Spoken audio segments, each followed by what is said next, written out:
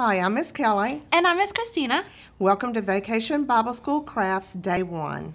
So, guys, you are our oldest kids here at Vacation Bible School, and so we have a super special project in store for you. On a construction site, projects might take days, weeks, or even months to complete. And so, since you guys are older, and mm-hmm. I think they can handle a harder project, yep. right? We've got a project that's going to take a couple days for you to finish. So, we actually have three crafts for you to do this week. One of them is going to be super awesome. I'm going to let Miss Kelly tell you what that is. Okay, so your special craft is going to be a construction. You are actually going to build a rocket pencil box, and these are donated from Home Depot. So we really appreciate Home Depot for doing this yeah, for do. us.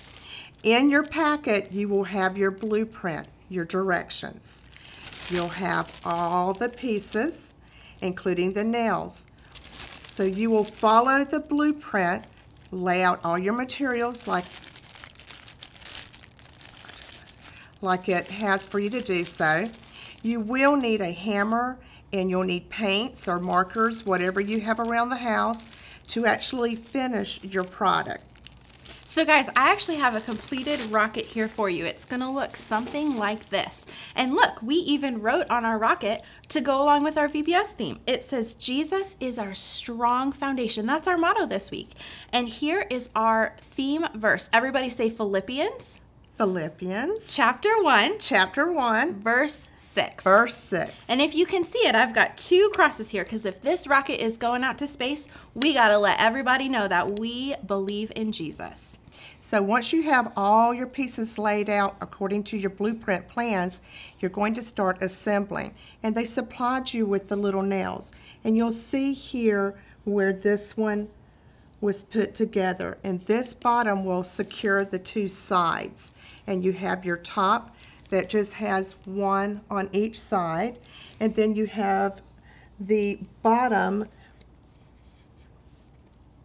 that then you have the bottom where you just have two nails to secure it to your rocket. And there's something special about this rocket. Can you show us what that is, Miss Christina?